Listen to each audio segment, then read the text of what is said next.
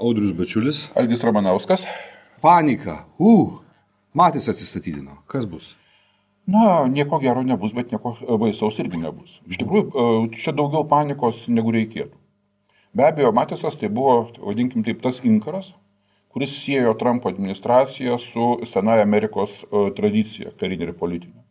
Ir iš tikrųjų į Matisą buvo sutelktos visos viltis. Čia tas pats Mad Dog. Taip. Visos viltis pirmiausia Europinių NATO sąjungininkų, kurie tikėjosi, kad kol Matisas yra, tol Trumpas na, jokių drastiškų žingsnių su NATO nedarys.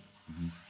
O taip pat iš Matiso buvo pakankamai daug tikimasi ir Pietryčio Azijoje, ypatingai Kinijoje, nes nors Matisas buvo pakankamai kietas, tarkim, dėl pietų Kinijos jūros, tačiau jis taip pat buvo tas žmogus, kuris pasisakė prieš, na, taip, prieš laikinius karinius veiksmus. Iš tikrųjų, jeigu prisiminsim Šiaurės Korejos krizę, kuri buvo šių metų pavasarį, kai buvo didžiulis spaudimas daromas Šiaurės Korejai, kad nesėstų prie dėrybų stalo. Tai, pas, tai būtent Matisas buvo tas, kuris buvo kategoriškai prieš o, karinės jėgos panaudojimą. Tai yra spaudimas taip, e, bombardavimas ne.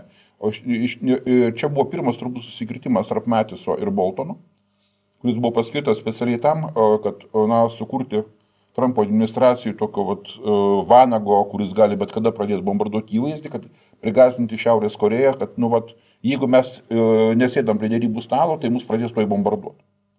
O, tai, nes Matisas, jisai buvo būtent, jisai kaip kariškiai, dauguma kariškių e, senų patyrusių, jie visais būdais vengia karo. Mhm. Tai yra čia tas paradoksas, kad e, koviniai generolai paprastai būna vanagais. Oi, atsiprašau, koviniai generolai paprastai būna balandžiai. Balandžiais, o vanagais būna vat, e, tie, kurie nebūna kariavę, kaip Boltonas. Tarkim. Mhm. Gana logiška. Taip, ir, bet yra, jeigu kalbam konkrečiai, kodėl jisai pasitraukė, tai pas juos nesutarimai, tarkim, su Trump dėl Sirijos ir dėl Afganistano tęsiasi jau daugiau metų. Nes Trumpas dar pernai metais lapkričio mėnesį kalbėjo, kad reikia parengti išėjimo iš Sirijos strategiją. Šių metų kovo beros 28 dieną pasirodė, buvo joks pasisakymas vizito kažkurio tai metu ar, ar, ar, ar, ar viešoji kalboje, kad reikia nedėlėsant išeiti iš Sirijos.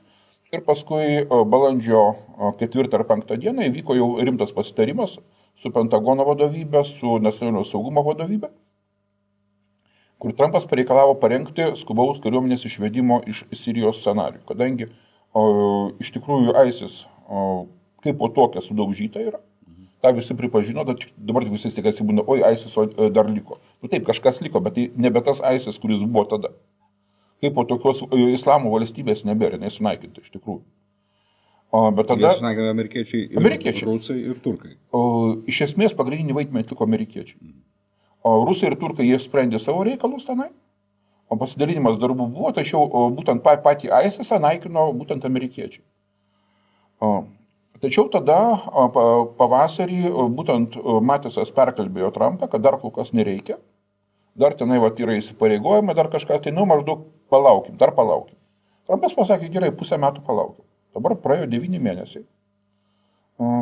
Ir kol kas iš esmės nu niekas nesikeičia. Amerikiečiai ten toliau uh, dirba. Amerikiečiai šia, šiai dienai jie tapo skydų tarp uh, Turkijos ir kurdų, nes kurdai uh, nuo seno yra patys geriausi amerikiečių sąjungininkai. Tiek Irake, tiek Sirijoje. Bet uh, kilo dvi įtampos. Uh, tai yra pirmiausia uh, tarp Turkijos ir Amerikos, tame tarp būtent dėl kurdų, nes turkai jau pradėjo spausti, kadangi kurdai amerikiečių priedangoje pradėjo kurti savo valstybę. Lygiai taip pat kaip Irake kurdai de facto turi sukūrę savo valstybę. Mhm. Mm, antras dalykas, kilo trintis dėl Saudo Arabijos. Nes kada iš esmės Trumpas, kaip, kaip pasakė kalbą Saudo Arabijoje, tai jo pirmas vizitas buvo į užsienį, kai pasakė, kad tie, kurie bus su islamistais, jų gyvenimas bus trumpas ir nelaimingas. Ir būtent tada buvo paskirtas naujasis sosto įpėdinis, kuris pradėjo ten modernizaciją ir, ir atsitraukimą nuo islamizmo. Ir dabar jau pati Amerikos politikai, jau nekalbant apie, apie europiečius, pradėjo pančioti Trumpo rankas, kad va, tas sostų įpėdinis liepė supjaustyti gabalus tą islamistų propagandistą Kašodžį. Ir kaip čia gerai, ir maždaug nutraukim paramą Saudo Arabijai, nutraukim paramą kitiems tenai režimams negeriems. Nu, tai, o į ką, ką tada Trumpui atsiremti, tai pažiūrėjau, Sirijoje ir Irake.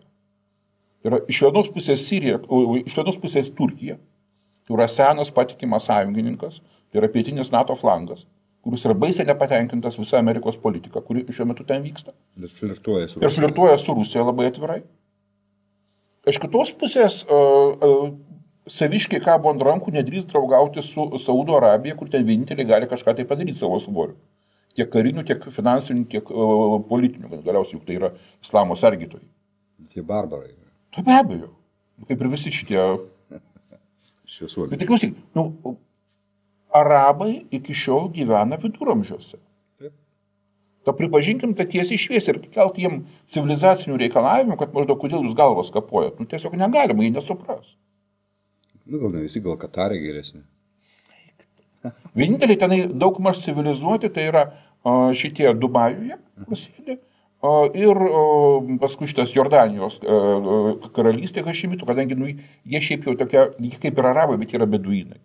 Tai yra vis tik tai truputėlį. Šie vieninteliai, kurie pasisako už tai, kas su Izraeliu. Taip, tai jie seniausiai jie ir sudarė. Ja, ja. Tai klausyk, kas bus dabar? Dabar bus daug panikos.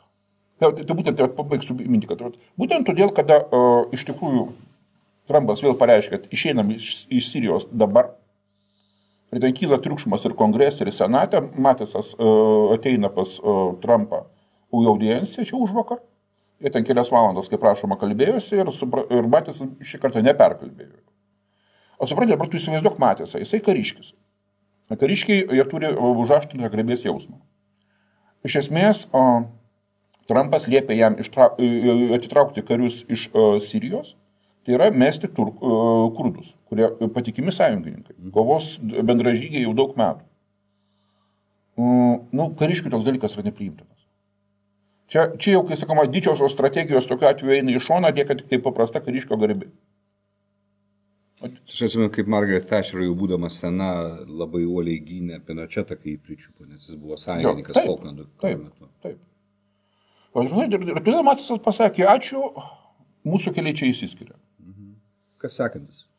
Nežinau, kas bus sekantis, bet čia vieną dalyką aš galiu pasakyti e, visus nuramindamas. O kiek buvo keitimų, o tų svarbių keitimų, o, kurie mus liečia Trumpo administracijoje. Ar tarkim, o, o, McMasterį pakeitė o, Boltonas, ar o, Tillersoną. Tillersoną pakeitė Pompeo, nieko baisaus neatsitiko. Tik geriau. Ką, iš esmės, ypatingai dėl Pompeo, tik geriau. Mhm. O, aišku, o, Aš kaip ir daugelis turbūt yra dideli Batiso fanai, kadangi tai iš tikrųjų labai charizmatiška asmenybė. Mhm. Bet aš neturiu jokių prie, priežasčių galvoti, kad jo įpėdinis bus kažkuo tai blogesnis. Taigi pilna gerų kariškių. Nebūtinai kariškių. Mhm. Bet matai, va čia yra dar vienas dalykas, kad šiai dienai Matisas su jo o, tuo pacifizmu, vadinkim taip, jisai tampa jau politinė problema Trumpui, sprendžiant, tą, tiesiog tęsiant tos pačios Šiaurės Korejos sprendimą. Čia kažkaip pas mus nelabai nuskambėjo, bet praeitą savaitę o, Rusija kartu su Šiaurės Koreja padarė labai tokį piktą ir labai įžūlų pareiškimą, kad o, bet kokie, tai yra, padarė Šiaurės Koreja, Rusija paremė. Kad o, kalbos apie brandolinio ginklo atsisakymą tolesnės neįmanomos tol, kol Amerika nepadarys kokių nors labai rimtų nuolaidų ir nepradės mažinti, pavyzdžiui, savo kariuomenės uh, Pietų Korejoje arba ten uh, kažkokio ginkluotę nepatrauks. Tai yra iš esmės Putinas, kur, kuriam dabar nusimato labai sunkios dėrybos su Trumpu dėl Trumpo ir vidutinio nuotolio raketų. Uh, ultimatumas tiksi. Jo, tiksi, čia vėlgi visi pamiršta, ultimatumas tai eina.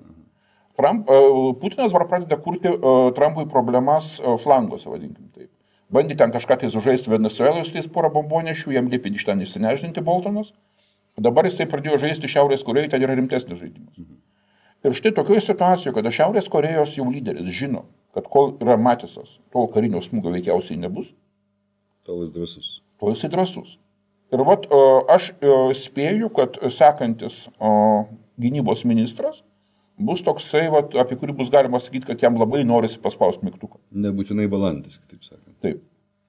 Gerai, tiek panikos šį kartą iš ekstra biuletenio apie Matiso atsitraukimą, o mūsų sekantis epizodas, kaip visada, tradiciškai savaitgalį, tai šiom dienom likit su mumis Audrius Basiulis, Algis Ramanauskas. Iki kito karto.